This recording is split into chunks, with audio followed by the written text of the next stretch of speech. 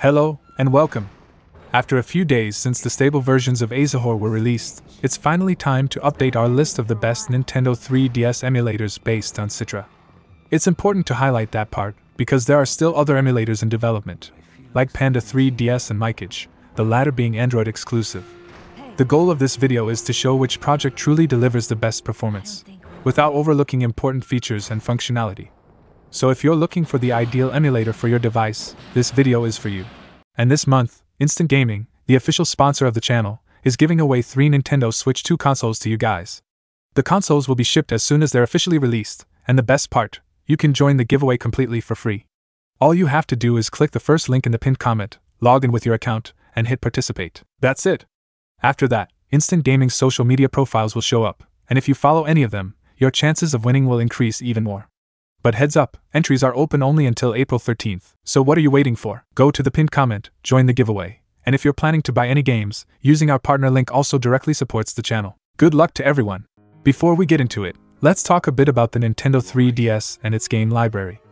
The 3DS was the direct successor to the Nintendo DS, and the DS was so successful that Nintendo decided to keep some of its core features, like the dual folding screens, one of which was touch sensitive.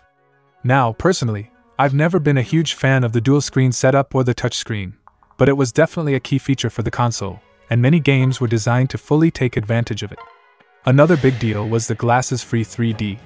When the 3DS launched, 3D technology was trending, especially in theaters, so Nintendo jumped on that wave with a screen that could display 3D effects without needing any glasses. However, this feature sparked some criticism, as many users reported visual discomfort, headaches, or nausea, even after getting used to the console. Nowadays, finding a 3DS in good condition is getting harder and harder. There are no new units being sold, so you're stuck with used ones.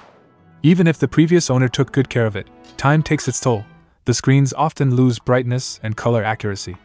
On top of that, the eShop has been shut down, which means getting new games today is limited to physical copies or finding files online, basically turning the 3DS into an abandoned console. The good news is that if you've got a decent Android phone or even a basic PC, you can already emulate almost the entire 3DS library with really solid performance. And more than that, with support for mods, texture packs, and other visual upgrades that make the experience feel much more modern, as you can see in the background gameplay.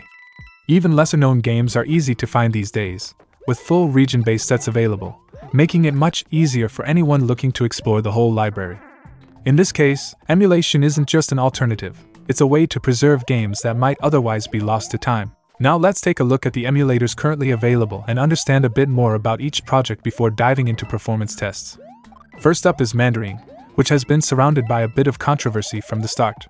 The project went through name changes, conflicts with other developers like Pablo MK7, and even accusations of code plagiarism. Still, Mandarine always showed a lot of potential. It delivers excellent performance, has a solid set of features, and supports .3ds files, which is super convenient. However, the developer's questionable actions caused the project to lose attention over time. More recently, the dev even posted that the emulator would only receive updates after Azahar's release, raising even more questions about their actual involvement in development. That said, despite all the drama, Mandarine is still one of the strongest options performance wise. Next up is Cytrus, the newest emulator on this list. It's developed by Jared, a well known name in the community thanks to his involvement in multiple projects like Sudachi, Folium, and forks of both Strato and even RPCS 3 for Android. Some people do question whether he can really juggle that many projects at once, but the fact is, Cytrus is real, it works, and it shows promise. The downside is that, being so new, it hasn't been fully optimized yet. In the tests you're seeing in the background, it had the weakest performance among all the emulators tested, even falling behind Lime 3DS, which has already been discontinued. That doesn't mean Cytrus is bad, just that for now, there are better options. Speaking of Lime 3DS, this emulator was once considered the best of the bunch in earlier tests. It had excellent compatibility, could run almost any game, and was even available on the Play Store, making it super easy to test. However, it hasn't received updates in a long time, especially after merging with Pablo MK7's fork. Meanwhile, other projects kept evolving and eventually outpaced Lime 3DS. So if you're still using this emulator, whether on Android or another platform, it might be time to switch to something more up to date. And now we get to the infamous Azahar. As I mentioned earlier, this project came from the fusion of Pablo MK7's fork. He was one of the original Citra devs, with the promising Lime 3DS. But its launch stirred up some controversy, mainly due to the anti piracy measures that were introduced. The biggest one was a change in the file format supported by the emulator, in an attempt to avoid legal trouble with Nintendo. This decision split the community. Some supported it, others were pretty unhappy.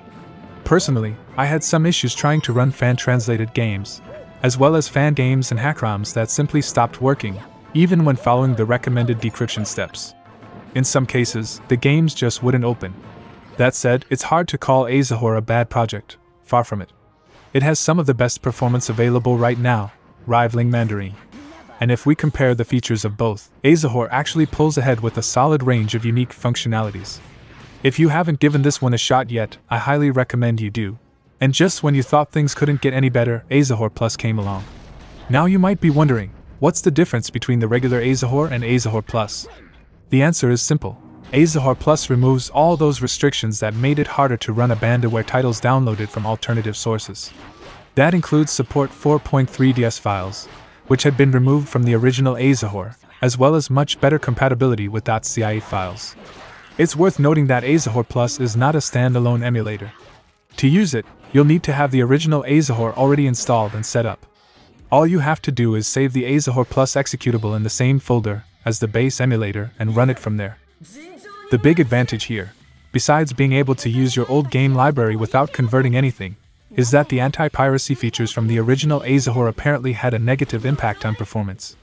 That's no longer an issue with Azahar Plus.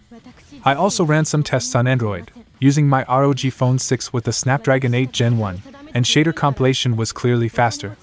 I even tested it on a much more modest device, the Redmi Note 12S with a Mali G57 GPU.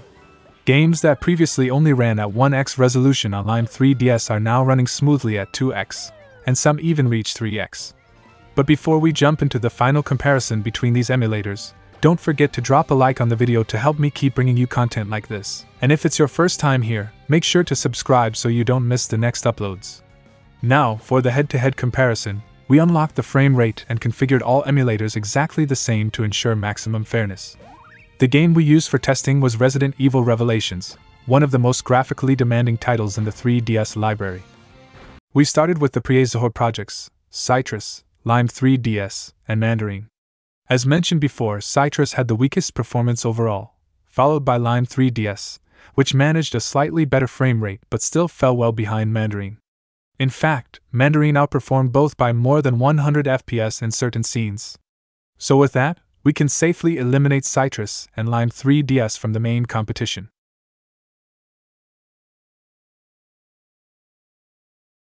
Now on to the final round Mandarine, Azahar, and Azahar Plus. Azahar already shows better performance than Mandarine, which is impressive by itself.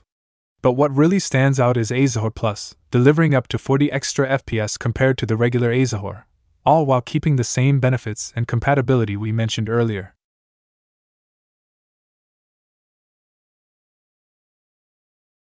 So, if you're looking for the best Nintendo 3DS emulator, one that delivers top tier performance regardless of your hardware, and runs great even on lower end Android devices, Azahar Plus is hands down the best choice.